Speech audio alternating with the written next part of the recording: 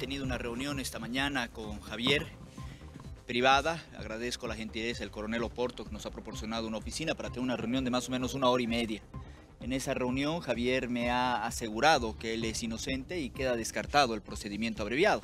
Es por eso que ahora vamos a asumir eh, la defensa necesaria y vamos a solicitar a la Fiscalía diferentes elementos de convicción para probar que Javier eh, no ha sido el autor material de este delito. Javier ha mencionado varios nombres que se tienen que investigar.